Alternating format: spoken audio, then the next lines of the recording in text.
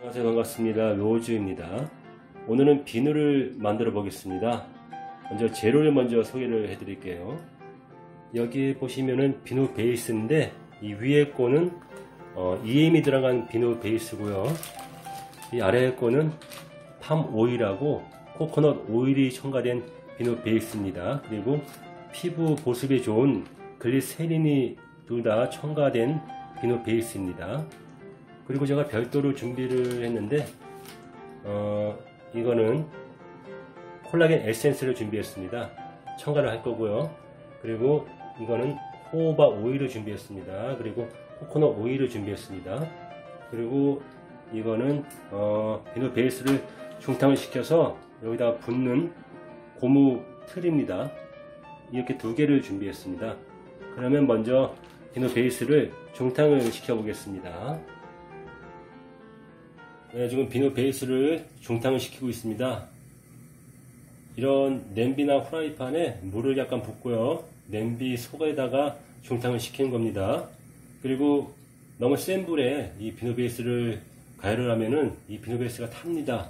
그러니까는 너무 센 불에 하지 말고 약한 불에서 천천히 중탕을 해야 됩니다. 네, 비누 베이스가 다 녹았습니다. 그러면은 어, 가스불을 꺼주시고요. 아까 전에 제가 준비한 재료를 첨가를 해 보겠습니다. 먼저 콜라겐 에센스를 넣어 볼게요. 그리고 이 첨가를 하실 때 너무 많이 넣으면은 이 비누 베이스하고 이 첨가물하고 잘 섞이지 않습니다. 그래서 어 적당히 넣는 게 유령입니다. 얼굴 피부에 좋다 해가지고 너무 많이 넣으면은 섞이지 않습니다 적당히 넣어주세요. 콜라겐 에센스를 3번만 넣겠습니다. 그리고 이번에는 어, 호호바 오일을 넣겠습니다.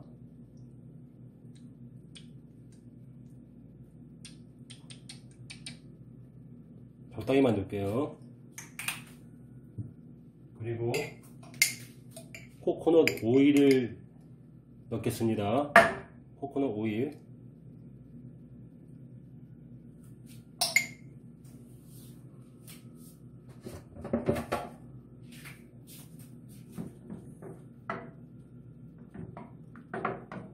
그리고 이 첨가물을 저어주세요.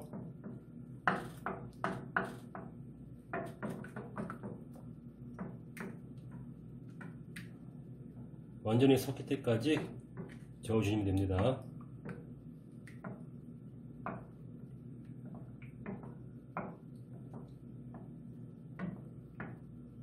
네, 중탕이 완성이 됐습니다. 그러면 이 중탕된 걸 고무틀에 부어 보겠습니다. 중탕된 걸 이 고무틀에 부어 보겠습니다. 저는 이런 일반 이 종이컵을 이용하고 있습니다. 모서리 꼭지를 뾰족하게 해서 하면 하기가 좋더라고요. 부어 보겠습니다.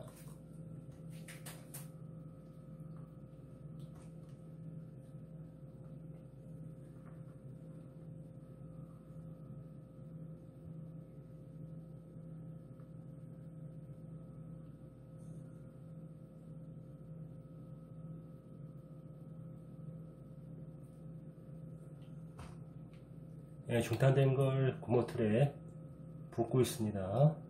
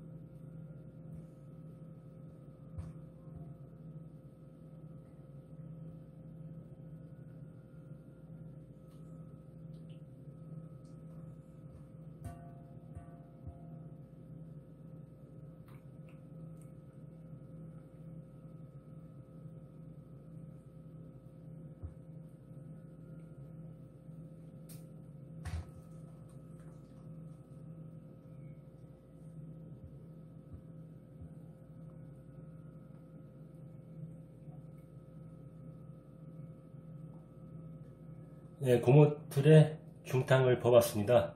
이제 이 비누가 어, 굳으려면 한 10분에서 한 20분 정도 걸리는데 어, 이따 다 굽고 완성이 되면은 완성품을 보여드리겠습니다. 네, 비누가 이렇게 완성됐습니다. 이렇게 여러 가지 모양으로 완성이 됐습니다. 바짝바짝 빛나죠? 예쁘죠? 여러 가지 꽃 모양으로 이렇게 만들어 봤습니다. 이 작은 하트 모양도 이렇게 있고요. 예쁘죠? 이렇게 만들어진 비누를 일반 랩에 이렇게 하나씩 포장을 해서 저장을 하시면 되겠습니다. 시중에 파는 비누들은 금방 물러지기 때문에 얼마 못 씁니다. 그런데 이렇게 이 만든 비누는 딱딱하고 물러지지 않습니다. 그래서 수명이 오래 가요. 여러분들도 시간 나시면 이렇게 직접 만들어서 쓰시면 어, 좋을 것 같습니다. 오늘은 비누를 만들어 봤습니다. 구독, 알람, 좋아요 부탁드리겠습니다. 다음 시간에 다시 찾아뵙겠습니다. 감사합니다.